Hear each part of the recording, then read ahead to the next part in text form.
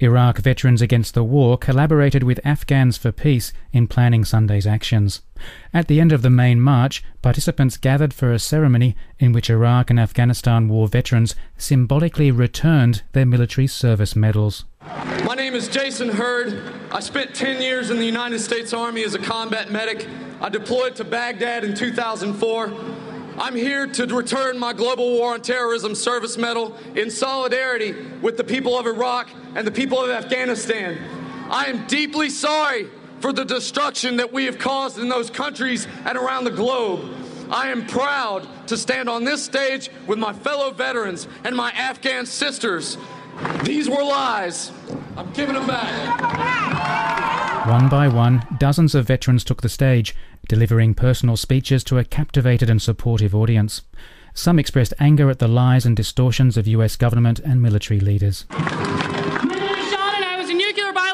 Chemical specialist for a war that didn't have any weapons of mass destruction. So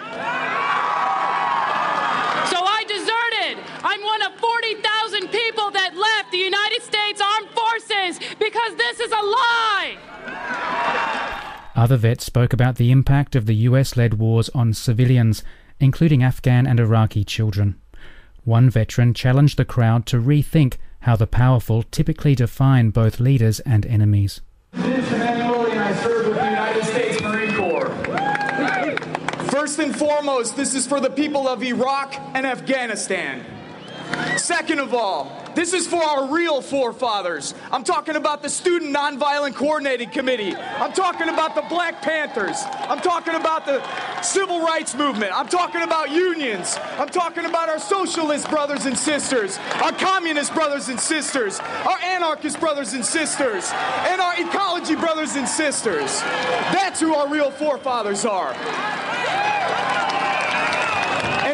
And lastly, and lastly, and most importantly, our enemies are not 7,000 miles from home. They sit in boardrooms. They are CEOs. They are bankers.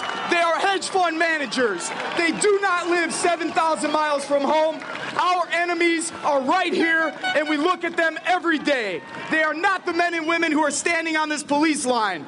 They are the millionaires and billionaires who control this planet, and we've had enough of it so they can take their medals back.